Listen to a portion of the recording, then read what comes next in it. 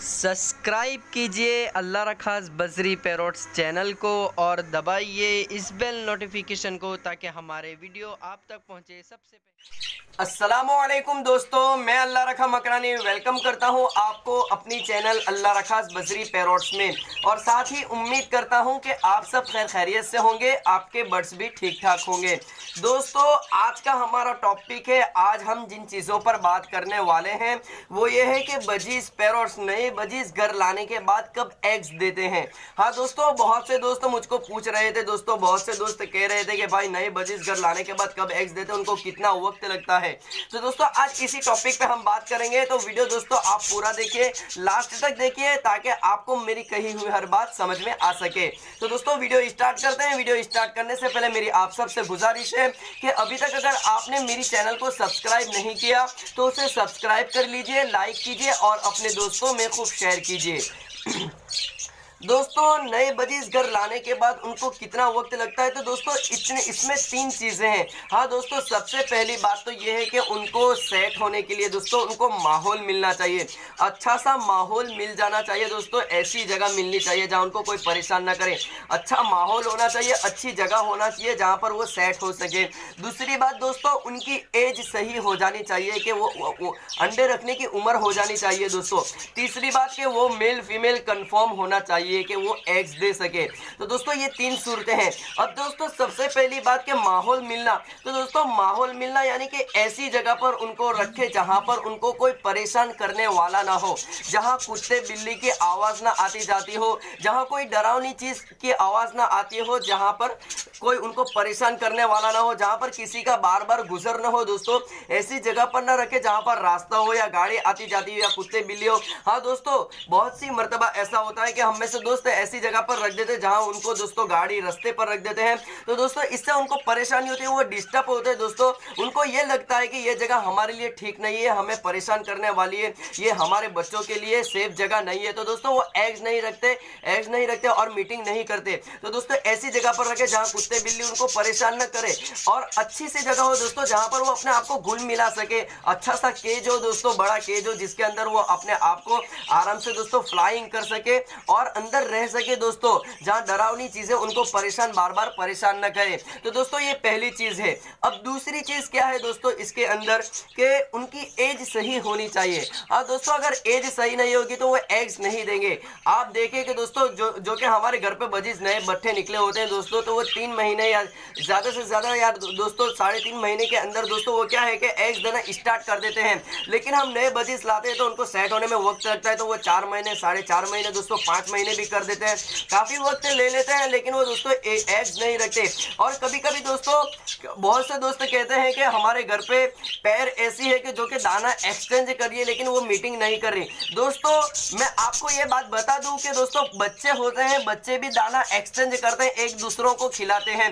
पट्ठे होते हैं, पट्ठे भी दाना एक्सचेंज करते हैं, यानी कि एक दूसरों को खिलाते हैं। और बड़े होते हैं जो कि दोस्तों एग्स ऐसा रख देते हैं। दोस्तों तो वो भी दाना एक्सचेंज करते हैं। इसका मतलब दोस्तों पट्टे दाना एक्सचेंज करते हैं। इसका मतलब ये तो नहीं है कि वो मीटिंग भी करेंगे दोस्तों क्योंकि उनकी एज नहीं हुई अभी मीटिंग करने की। तो दोस्तों बहुत से दोस्त ये कहते हैं तो दोस्तों उनको सही तरीके से उनकी एज हो जाने दीजिए। दा, दाना एक्सचेंज जो बच्चे बड़े पट्टे सब करते हैं लेकिन उनकी मीटिंग करने की उम्र नहीं होती तो वो मीटिंग नहीं करेंगे। अभी इंतज़ार करो उनको और सेट होने दो उनकी एज हो जाने दो तब जाके वो मीटिंग भी करेंगे और दाना एक्सचेंज भी करेंगे।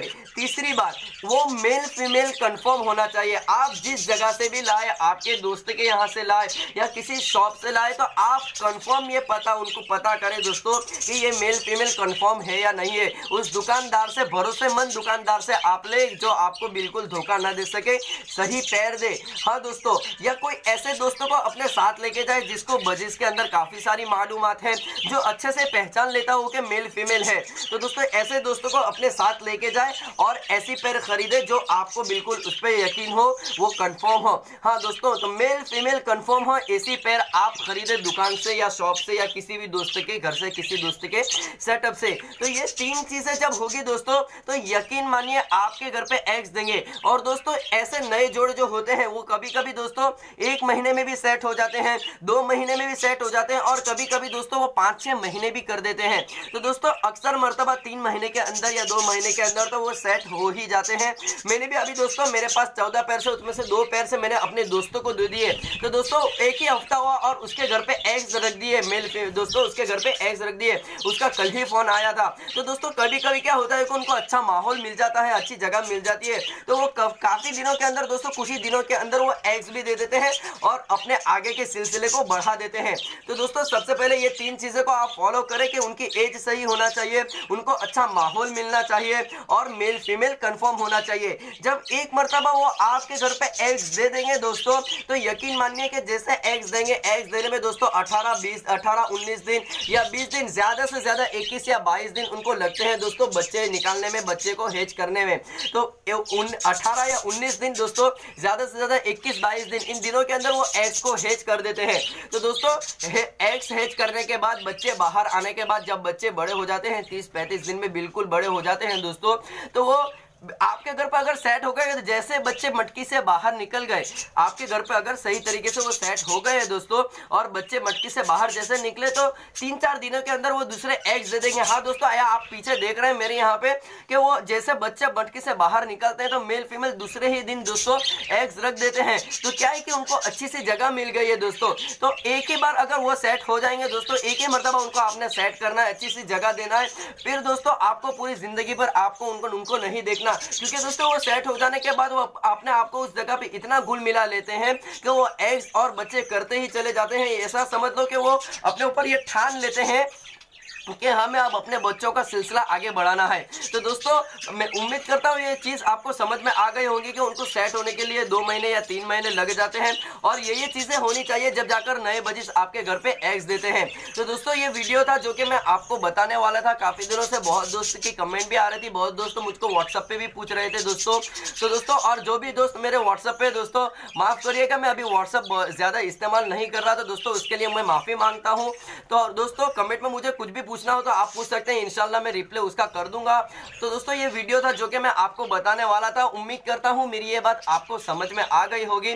अगर दोस्तों, मेरी ये बात आपको समझ में आ गई और मेरा ये वीडियो आपको थोड़ा सा भी अगर पसंद आया तो मेरी चैनल को सब्सक्राइब कीजिए लाइक कीजिए, अपने दोस्तों में शेयर कीजिए। तो दोस्तों, मिलते हैं नेक्स्ट वीडियो में। तब तक के लिए दुआ में याद रखिए, अपना ख्याल रखिए। वालेकुम अस्सलाम।